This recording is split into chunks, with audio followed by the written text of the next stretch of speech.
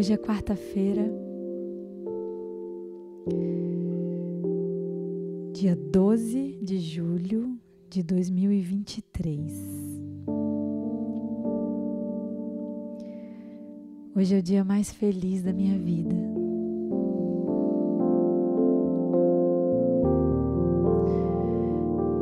E eu espero de coração que também seja o dia mais feliz da sua vida. Seja muito bem-vindo, seja muito, muito bem-vinda, muito bem-vinde. Essa aqui é a live Música para Iluminar. Hoje é o nosso episódio 394. Essa live acontece aqui é, no Instagram. Depois tem um replay lá no YouTube. Sons de segunda a sexta-feira, às 9h37 da manhã. Já vou começar esse nosso momentinho de hoje é, falando sobre a live especial que vai acontecer dia 19, próxima quarta-feira. Então, anote aí. Se vocês querem conhecer mais até sobre a história de todo esse, esse projeto, que nunca foi um projeto, eu explico um pouquinho mais na postagem que eu fiz ontem falando desse evento do dia 19. Eu já nem estou ansiosa. Mas estou muito feliz por ter chegado até aqui, até esse dia, 12 de julho de 2023. Tô vendo que tá chegando um recado grande Fiquem tranquilos, tranquilas, porque, bom, eu sempre chego aqui, canto uma música, falo algumas coisinhas que vêm no meu coração. A música sempre traz alguns recadinhos, né? E depois eu leio tudinho, gente, antes de sair da live, viu? Mas, independente do horário que você está aqui, se você não está ao vivo, está assistindo ao replay, eu fico muito feliz, muito feliz, muito honrada com a sua companhia nesse momento que é o mais especial assim dos meus dias. E hoje, gente, logo cedo, eu estava ouvindo um podcast, eu achei incrível assim, uma, é uma, era uma reflexão muito simples é, de psicologia positiva, mas é um troço que dá, dá o que pensar assim é, falava sobre adolescência. Normalmente a gente vê adolescente, pensa em adolescente, a gente já fala assim: ai meu Deus, adolescente. a gente malha tantos adolescentes, né? Eu tenho um filho adolescente, gente, eu não posso reclamar, mas enfim, é uma fase, né, de muitos processos e tudo, uma fase muito muito julgada por nós, assim, muito massacrada em todos os sentidos, por eles próprios e por nós, que já não somos mais adolescentes e nem sempre temos muita paciência, enfim. Mas eu achei muito interessante porque é um podcast apresentado por duas mulheres já, coroa que nem eu, e, e elas falavam, elas propunham o seguinte, é, a seguinte reflexão. Quais eram as coisas que você fazia na sua adolescência e você deixou de fazer. Que adolescente faz muita coisa legal que a gente, depois que, que adultece, a gente deixa de fazer. E aí elas vão enumerando assim coisas que adolescentes fazem, tipo ouvir música o dia inteiro, 24 horas, ou tocar numa banda, participar de mais atividades artísticas por participar, sem ter um objetivo assim, ah, é para ganhar dinheiro ou é para qualquer outra coisa. Não, por estar ali. Outra coisa, passar tardes, horas e horas na casa de um amigo no quarto. Tudo embolado dentro do quarto do amigo ali, fazendo absolutamente nada, jogando conversa fora. Depois que a gente fica velho, gente, a gente nem conhece os quartos dos nossos amigos, porque é uma coisa muito íntima, assim, né? A gente já chegava, já sentava na cama da amiga e ali passava décadas. Outra coisa legal que a gente faz durante a adolescência e a gente deixa de fazer. Vai pensando aí, você vai lembrar de mais coisa que eu, quer ver? É... Ah, teve uma coisa que ela falou que é muito legal. A gente pensa muito mais no nosso look. Isso é uma coisa tipo, putz, eu acordo aqui, às vezes eu faço a live, gente, praticamente de pijama. É um absurdo isso, é a minha live, milhares de pessoas. Sabe? Pensar no look, não só é, para estar bonita, mas assim, pensar na ocasião, pensar em, em, o que, que eu quero transmitir com, com aquele look, com aquela roupa, com aquele cabelo, sabe? É, fala também do cabelo. O adolescente está sempre fazendo coisas diferentes no cabelo, de pintar, de cachear, de alisar. E depois a gente meio que. Ah, qualquer coisa, tá branco mesmo, deixa aí. Sabe? Passar horas se cuidando, inventando unhas, customizando roupas. É, como uma atitude mesmo de, de, de se conhecer, de se gostar. E a gente deixa de fazer isso. Enfim, tem várias coisas lindas assim da adolescência que a gente deixa de fazer e que seria legal se a gente conseguisse resgatar, pelo menos um pouquinho, né? E aí me deu uma saudade da minha adolescência, sabe? Dessas dessas tardes passadas jogando conversa fora, das cartas que eu escrevia para as minhas amigas e recebia de volta, cartas maravilhosas naqueles momentos de desabafo, de ouvir aquelas músicas bem chorentas e ficar ali uh, arrasada. Ler revista, sabe? Não tinha blog, não tinha. Hoje em dia ninguém lê, né? a gente lia muito. Adolescente lê muito. Eu tenho vários adolescentes assim com quem eu convivo que amam ler, amam escrever também. Olha quanta coisa maravilhosa que adolescente faz, né, gente? Pelo amor.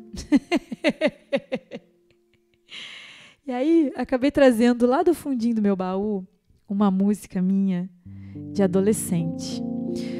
Muita gente conhece a minha primeira música, que é uma música que eu fiz em homenagem ao Rio de Janeiro, para um festival. Essa história é, é, é longa.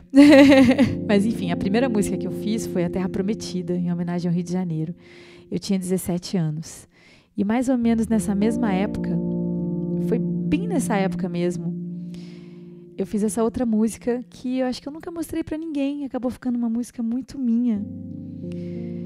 E essa música foi me ajudou a atravessar um luto por um amor muito intenso que eu vi na minha adolescência. Para resumir a história, era um menino que além de eu ser apaixonada, eu admirava muito ele. Ele era meu amigo, assim. E eu achava ele de uma inteligência, de uma sagacidade. Ele era um garoto engraçado. Era uma pessoa divertida, uma pessoa que eu admirava. Não era só aquele gatinho da escola que você vê passar e acha lindo. Aí quando o moleque fala duas palavras, você fala. Não, eu, esse menino, eu realmente eu tinha uma paixão intelectual por ele, assim. Eu passaria horas, eu passei horas conversando com ele sobre vários assuntos sobre a vida. Então, assim, só de ter esse convívio com ele já era muito maravilhoso. Eu nem esperava assim que ele quisesse me namorar. Ele namorou uma amiga minha e nem sei se ele algum dia quis namorar comigo, enfim. Mas a maior tristeza para mim foi que ele fez escolhas muito complicadas na vida dele, assim. Ele enveredou por um caminho de muita droga, de muita doideirada, e de repente eu via aquela pessoa que eu admirava muito, assim. Eu vi aquele cara se apagando. Eu vi um vazio. Então, eu sofri muito, assim, Acho que nem tanto pelo fato dele não ter namorado comigo. Acho que nem era isso. No final das contas, eu sofria porque ele estava deixando de ser uma pessoa tão com tantos caminhos lindos pela frente, assim, com tantas oportunidades, com tantas coisas lindas que eu via nele. E ele estava abrindo mão disso tudo por uma revolta, por sabe, ele se tornou uma pessoa muito amargurada. E essa música me ajudou a, a, a preservar em mim o sentimento lindo que eu tinha por ele. Ui, é impressionante como a gente fala, parece que a gente volta a ter 17 anos, né? Enfim, essa música se chama Semear. Eu acho que é a primeira vez que eu toco ela na frente de alguém.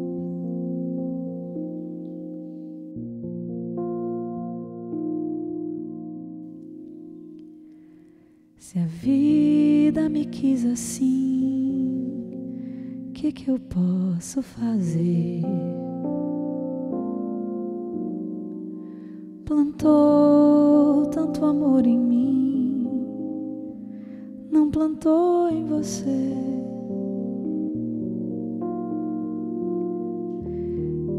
E agora eu carrego. Como é que é? Ai meu Deus, eu até esqueci a letra. Vou começar de novo, gente. É porque tem pouco tempo que eu compus essa música, tem quase 30 anos. Vamos de novo. Acho que eu tenho a letra dela aqui, peraí. Tá na tela aqui? Ah, eu tinha aberto até uma colinha, ó. Vamos lá. Essa música se chama Semear.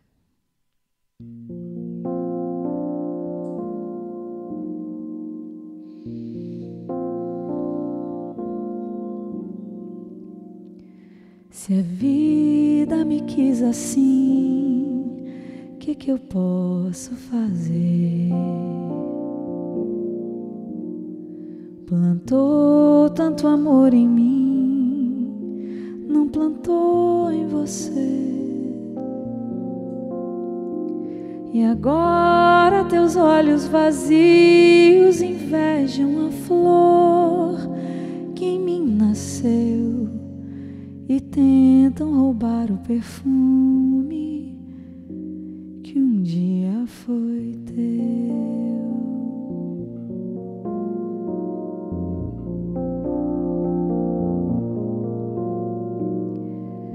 Se um sonho me quis assim, o que, que eu posso fazer? Guardei tanto amor em mim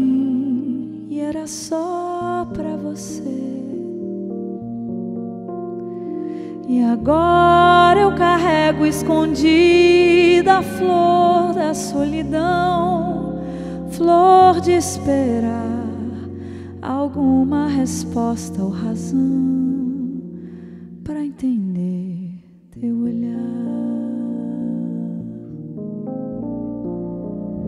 Quem dera levar um dia essa alma fria para passear, mostrar quanta flor existe além desse olhar. Me deixa beijar teu rosto e apagar o gosto dessa tristeza. E assim refletir um pouco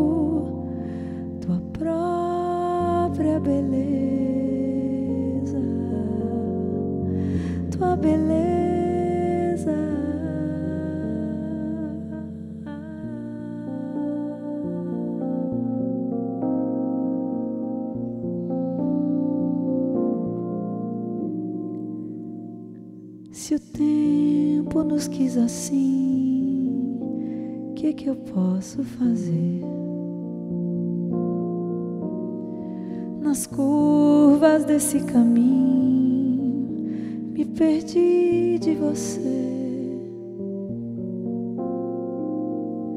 E agora eu procuro alguém que mereça esse amor, um novo olhar que queira colher minha flor e um jardim semear.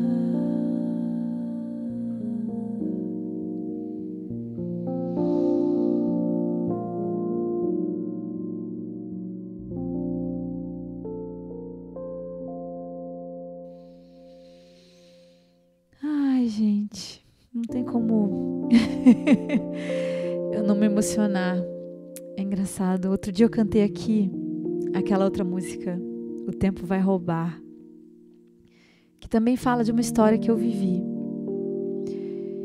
E é impressionante como as músicas guardam dentro delas a emoção que a gente sentiu no momento em que a gente escreveu, ou no momento em que aquela música estava presente na nossa vida.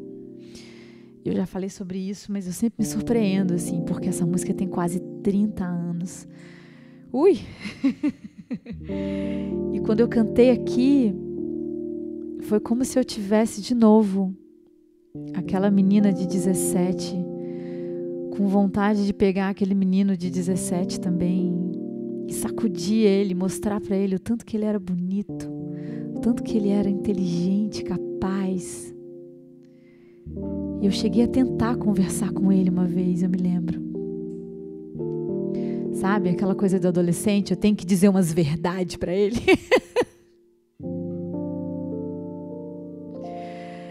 e onde quer que ele esteja, eu espero que ele tenha encontrado a paz que ele precisava, o alívio que ele procurava eu espero que ele tenha redescoberto o menino especial que ele era.